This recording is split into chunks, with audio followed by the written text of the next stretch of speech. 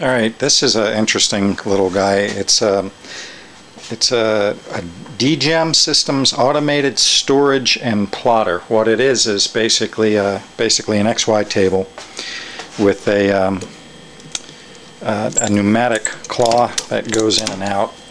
I don't have the air hooked up to it. Um, I bought this at a surplus, didn't have any instructions, any manual, and I couldn't find anything on the internet. But what I was able to determine were some of the connections in the back. It, it just hooks up to a regular uh, old style PC parallel port. And uh, the power button, when I got it, was broken, so I just jumped it out.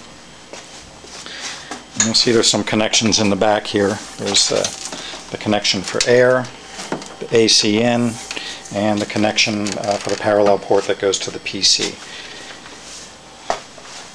All right, I was able to, very briefly, I wrote some software in QBasic that, that'll make the, uh, the XY go back and forth, and, and I was making the claw go in and out, but I need the, uh, you need the air on to see that work. That does, does work.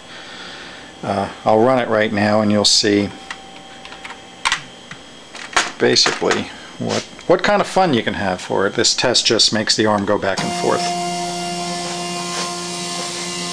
You see the uh, you see the steppers turning. See the arm going down and moving away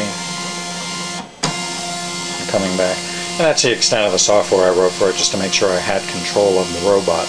There's a few other pins you're going to have to track down here. There's obviously a there's limit switch, uh, top and bottom. Uh, you have to. I, I don't exactly know what you'll do with this thing. Um, I thought about attaching maybe a laser or a pen or a plotter or something to the tip of it, or maybe a spray gun. But anyway, it's just a project robot. It's got uh, it's got a real good construction to it. You can see steppers top and bottom.